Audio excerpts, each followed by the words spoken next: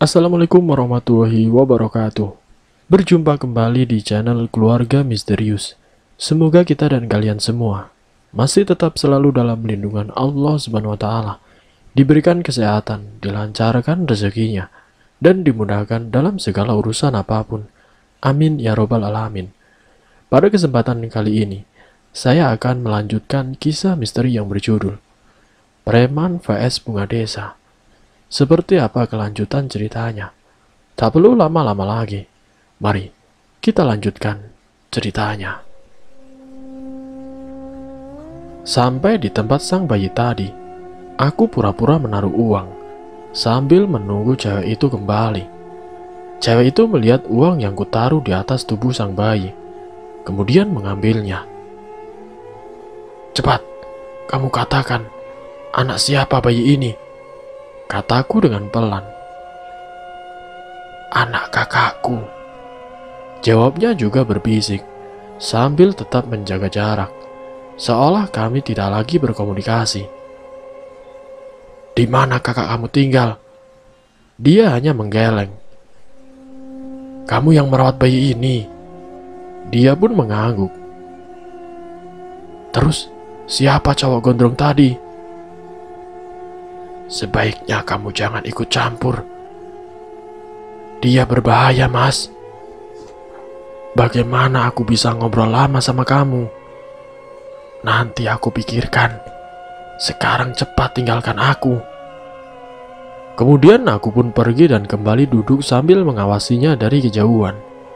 Kenapa akhir-akhir ini hidupku ini semakin banyak beban? Beban yang seharusnya tidak pernah ada. Seandainya aku tidak mau menuruti kata hatiku, seharusnya aku bisa melupakan cewek misterius hari ini yang datang dan pergi semuanya sendiri. Memang aku sering merasakan keganjilan setiap bertemu dengannya. Ya, seharusnya aku merasa takut saat dia meninggalkanku tanpa jejak. Seharusnya aku merasa ngeri saat jari tangannya mengeluarkan kukus tajam pisau dan seharusnya berpikir rasional untuk melihat kenyataan kalau dia memang dari dunia lain, dunia yang tersentuh oleh nalar manusia sepertiku. Cewek yang semalam aku temui, ternyata malam ini dia juga ada di sini. Dia berjalan ke arahku dengan membawa gelas plastik bekas minuman mineral. Sampai di depanku, dia menyodorkan gelas itu yang ternyata berisi uang. Sedangkan tangan sebelahnya menjatuhkan lintingan kertas kecil yang langsung aku injak. Aku menaruh uang kertas pada gelas plastiknya. Nanti temui aku, ucapnya. Lama setelah dia pergi, barulah aku mengambil kertas tadi. Setelah sampai di kosan, Baru aku membuka lintingan kertas itu, yang ternyata berisikan alamat. Dengan berpura-pura menjadi seorang penjual kerupuk, aku mendatangi alamat yang diberikan cewek itu. Alamat itu ternyata ada di sebuah area pemakaman umum. Tidak lama kemudian, muncullah cewek semalam. Dia menggendong bayi kecilnya. Dia memilih kerupuk Kesempatan itu aku gunakan untuk bertanya. Cowok gondrong itu tinggal di sini. Dia sama aku. Sudah ya. Ia memberikan uang untuk membayar kerupuk. Setelah itu aku baru tahu kalau cewek tadi dijadikan alat. Dia menjadi istri sekaligus pencari uang untuk si lelaki gondrong itu. Sifat dan rasa penasaranku membawa langkahku ke tempat hiburan semalam dengan harapan dapat bertemu dengan Arini. Aku ingin tahu semua misteri yang telah membuat pikiranku terbawa larut dalam bayangan-bayangan cewek itu. Tanpa ditemani oleh Opik, aku berangkat sendirian. Suasana tempat hiburan ini tidak seramai waktu aku ke sana bersama si Opik. Atau karena ini malam Jumat, sehingga kebanyakan lelaki hidung belang lebih betah berdiam di rumah, menunggu jatah dari istri mereka.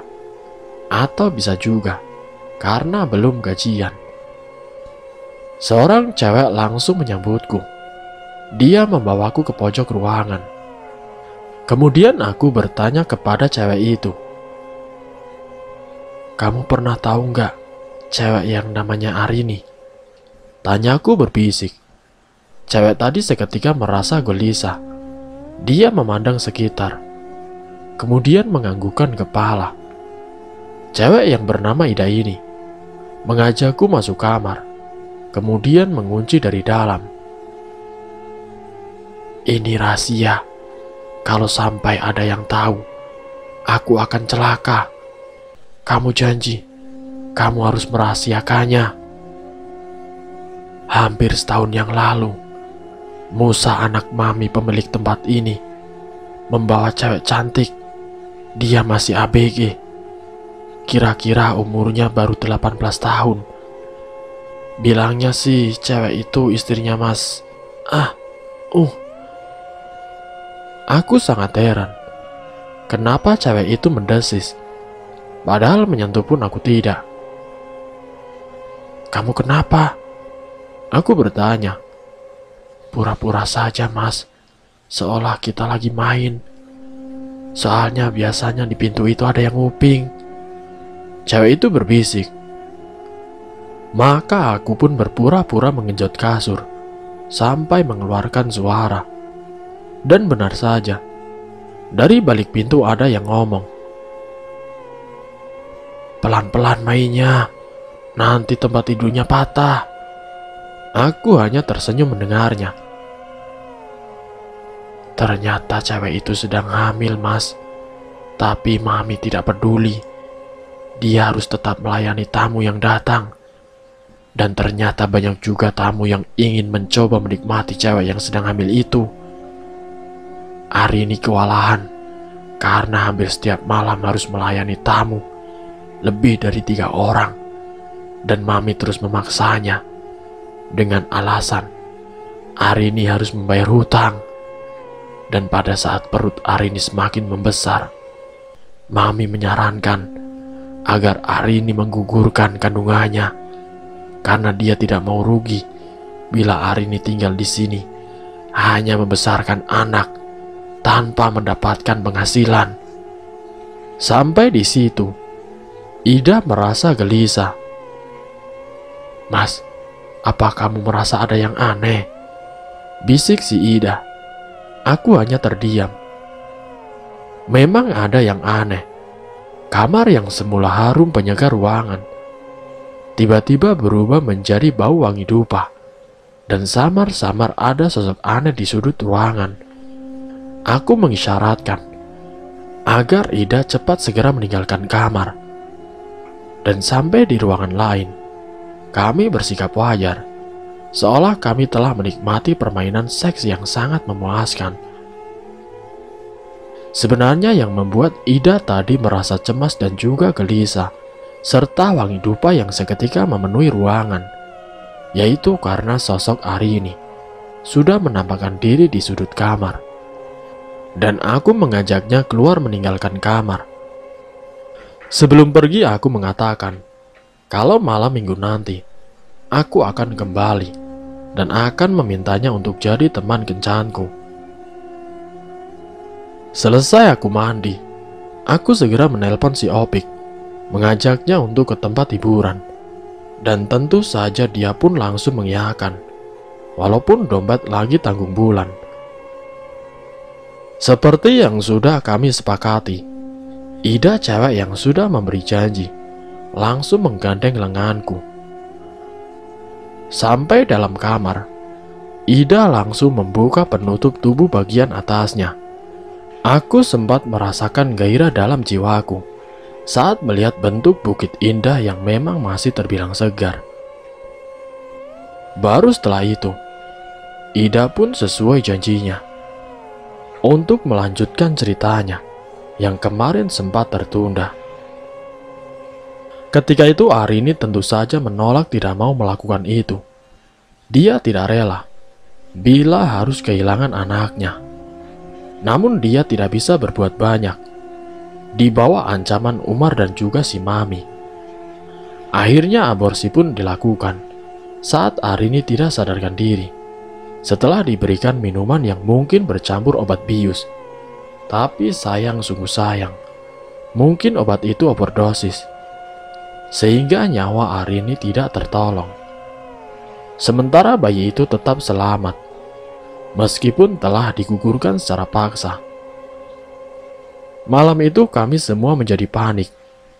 Kami takut kalau hal itu juga akan menimpa kami. Seandainya di antara kami ada yang sampai hamil. Setelah itu kami melihat mereka membawa mayat Arini entah ke mana. Sampai di situ Ida mengakhiri ceritanya. Namun ia sempat memberiku secari kertas berisikan sebuah alamat yang langsung aku simpan. Dan aku merasa kalau langkahku sudah terlalu jauh untuk mengetahui siapa hari ini yang sudah membuatku jatuh hati.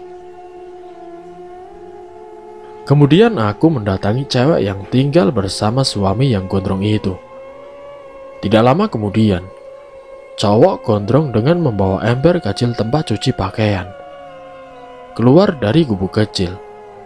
Dia memandangku sekilas kemudian masuk kembali ke rumah. Cewek yang kemarin aku lihat, kini keluar dengan menggenggam uang yang langsung ia berikan pada aku untuk tidak menimbulkan kecurigaanku, hanya memberi kerupuk sesuai harganya. Padahal maunya sih aku berikan semuanya. Cewek itu menyelipkan lintingan kertas kecil yang berisi minta tolong. Malam belum terlalu larut. Namun karena terlalu capek bekerja, maka aku tertidur dengan cepat. Angin dingin menerobos masuk lewat jendela yang memang belum sempat aku kunci. Dengan malas aku bangun berniat untuk menutupnya. Namun aku sempat terkejut karena aku melihat tepat di bawah tiang listrik. Cewek itu berdiri dan tengah menatapku. Arini, Aku memanggilnya dengan pelan, namun dia diam saja. Akhirnya aku keluar untuk menemuinya. Hari ini malah melangkah lebih dulu. Ia menyeberangi jalan yang menuju arah stasiun kereta api. Lalu dengan santainya, dia melewati peron, melewati antrean calon penumpang. Aku tidak mungkin masuk ke stasiun lewat pintu depan maka aku berusaha menyusuri sepanjang tembok stasiun sampai depo lokomotif. Baru kemudian, aku bisa melihat lajur rel utama. Dan dari kejauhan, aku melihat Arini tengah berjalan di atas rel sambil membentangkan tangannya. Mirip orang sedang bermain atraksi, menjaga keseimbangan badan. Setelah aku berada tidak terlalu jauh, aku melihat dia turun dari rel kereta api dan berdiri di antara bantalan kayu penyangga rel. Arini, kamu mau ke mana? Tanya aku. Arini memandangku dengan tatapan matanya yang sayu. Aku tidak tahu. Aku sudah tidak punya tujuan lagi. Semua sudah berakhir, Tito. Tidak hari ini, semua belum berakhir. Aku ada untukmu. Aku sangat menyayangimu hari ini. Hari ini semakin tertunduk. Ada isak kecil yang kudengar. Sudahlah hari ini. Sekarang malam semakin larut. Mari kita pulang. Aku membujuknya. Aku sudah tidak punya tempat untuk pulang, Tito. Aku tidak tahu harus ke mana lagi. Kini Arini mulai menangis. Tangisan Arini semakin menyesakan dadaku. Aku ingin merangkul dan juga memeluknya agar dapat meringankan beban di dalam jiwanya. Aku turun dari atas rel menuju tempat Arini berdiri, tapi niatku harus terhenti karena sebelah kakiku terperosok pada lubang di tanah yang agak berdebu. Aku merasa perih pada telapak kakiku. Setelah kulihat, ternyata kakiku berdarah. Aku mencari penyebab kakiku mengeluarkan darah, dan lebih terkejut lagi. Setelah tahu benda yang telah menggores kakiku hingga terluka, ternyata aku menginjak tulang. Dan setelah aku amati, bukan hanya satu tulang yang ada di bawah kakiku. Aku sempat gemetar saat melihat tulang belulang yang begitu banyak dan kepanikanku kian bertambah ketika aku mendengar seseorang mengejutkanku. Hei, Mas, ngapain di situ? Jangan kencing sembarangan. Nanti kesambet baru tahu rasa. Suara itu berasal dari atas. Benar saja aku melihat seorang petugas keamanan PT KAI tengah berdiri dan menyuruhku cepat naik. Namun sebelum naik, Aku melihat ke arah Arini. Lagi dan lagi. Kini cewek itu telah raib. Rintik hujan menemaniku pulang. Lumayan sampai di rumah basah kuyup juga. Aku segera mengganti pakaian dan berniat untuk melanjutkan tidur yang tadi terganggu. Namun belum sempat aku memejamkan mataku. Bayangan Arini kembali mengusikku. Aku melihatnya tengah menangis di sebuah tempat yang sama sekali asing bagiku. Tempat itu seperti padang tandus, berhamparan gejolak tanah berlumpur kotor. Arini jatuh bangun, tangannya menggapai-gapai seakan meminta pertolongan. Aku ingin menolongnya, namun aku tidak tahu arah mana yang harus aku tempuh. Alam sekitar tempat itu seperti berputar-putar sehingga aku merasa kepalaku pusing dibuatnya. Aku hanya terduduk, terdiam. Hanya mataku tetap menyaksikan Arini yang berkali-kali terjatuh. Aku ingin berteriak sekeras mungkin agar ada orang lain membantuku untuk menyelamatkan Arini dari hisapan lumpur hidup. Pagi harinya aku mendengar kabar kalau ada gerbong kereta yang anjlok keluar dari rel. Penyebabnya karena bantalan rel yang amblas, karena tanah yang kosong. Dan pagi itu juga, Dinas PT KAI segera mengadakan perbaikan. Petugas menemukan tulang belulang di tanah yang akan dipasang tumpuan untuk bantalan rel. Dan beberapa hari kemudian, tersiar juga kabar bahwa tulang belulang itu berdasarkan lab forensik berjenis kelamin perempuan. Diperkirakan wanita itu meninggal satu tahun yang lalu. Aku mengaitkan kejadian itu dengan peristiwa semalam, di mana Arini membawaku sampai aku melihat tulang belulang itu. Mungkin Arini memang sengaja memberitahuku lewat caranya sendiri.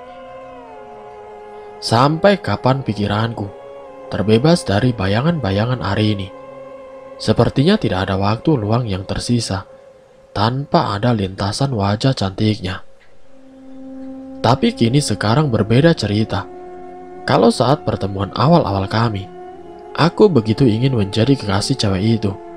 Kemudian aku dibuat bingung dengan segala caranya. Dia mempermainkanku.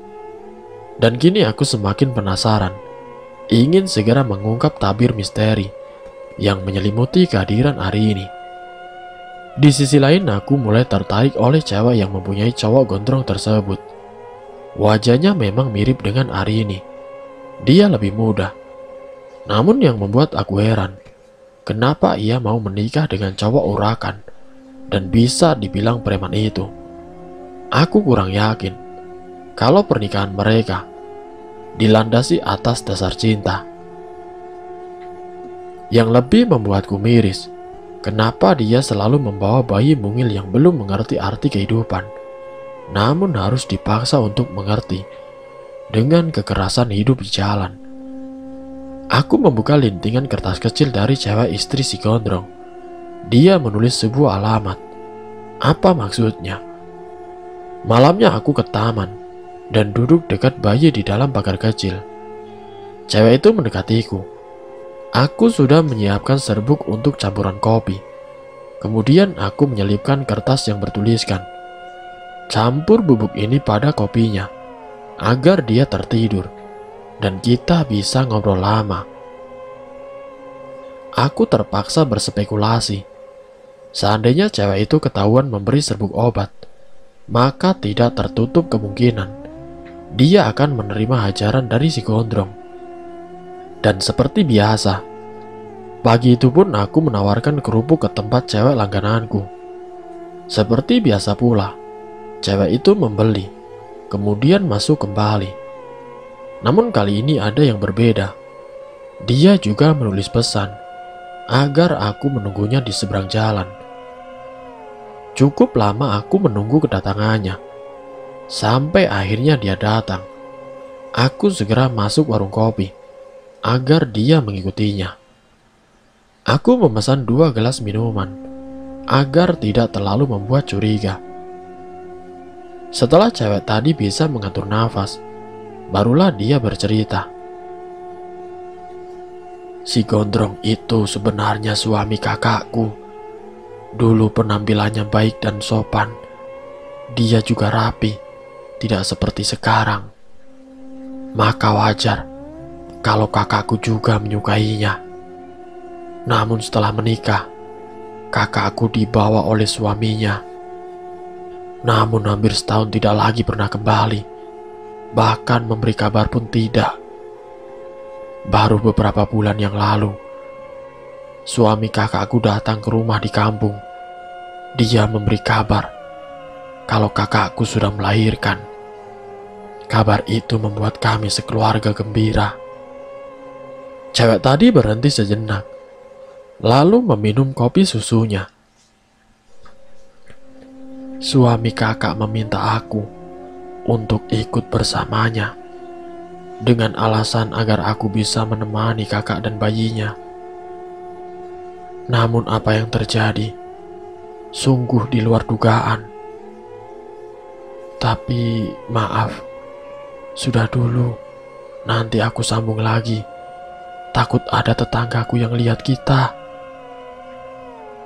Cewek yang belum aku ketahui namanya. Kemudian pergi begitu saja. Saat jam istirahat, aku iseng membuka handphone. Di medsos sedang ramai berita tentang penemuan tulang belulang yang ternyata berjenis kelamin perempuan.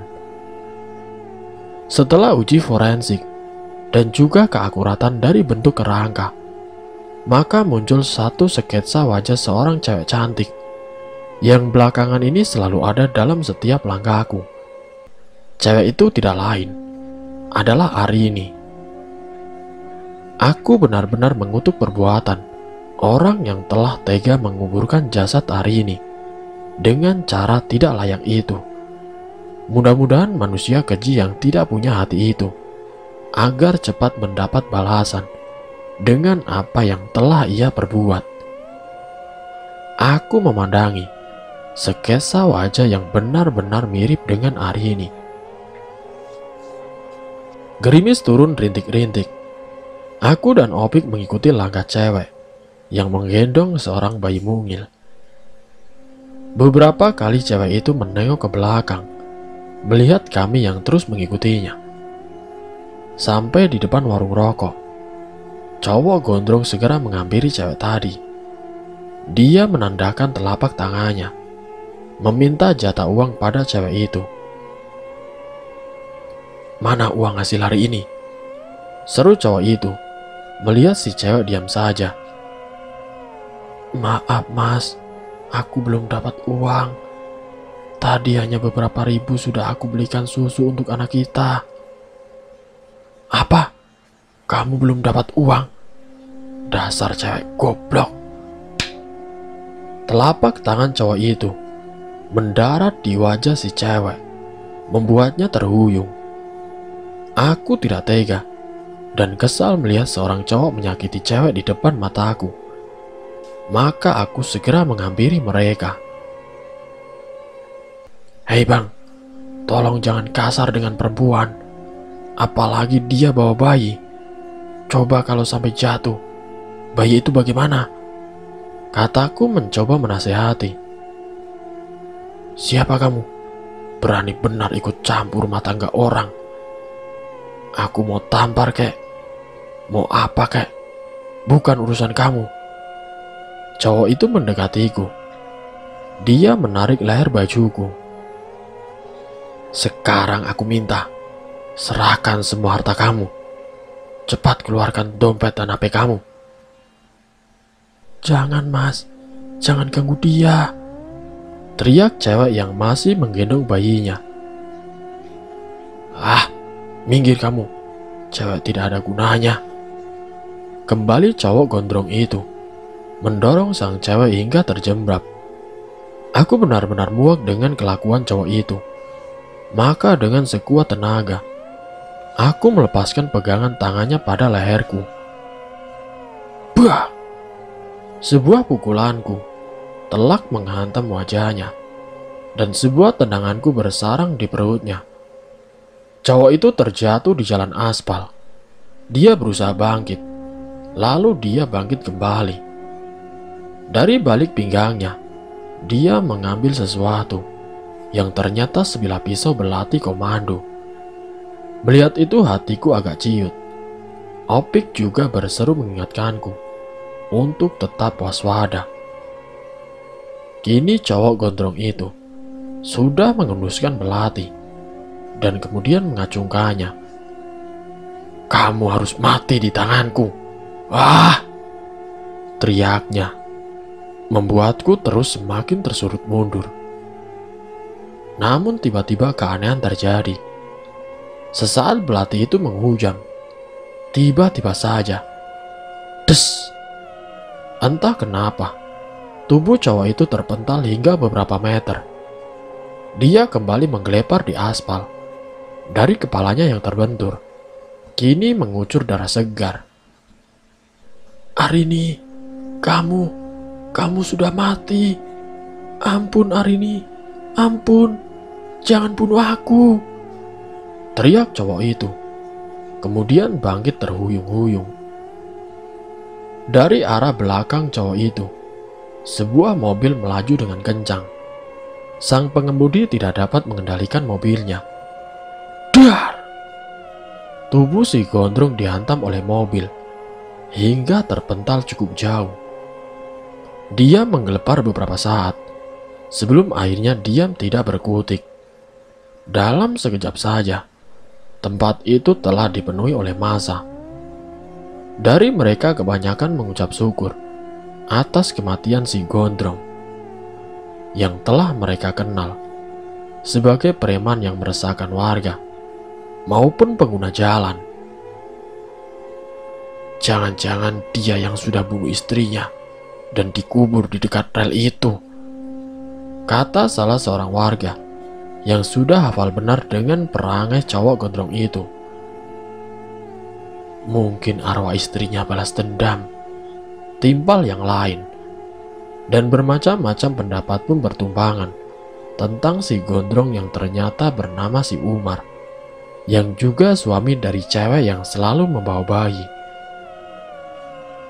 Terima kasih Tito, kamu sudah begitu baik, mau melindungi adik dan anakku.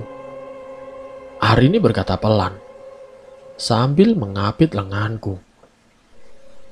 Tidak seorang pun yang melihat kehadirannya selain diriku. Adik dan anakmu? Tanyaku tidak sadar. Beberapa orang melihat ke arahku. Mereka nampak keheranan karena aku bicara sendiri. Ya, Deno adalah adikku.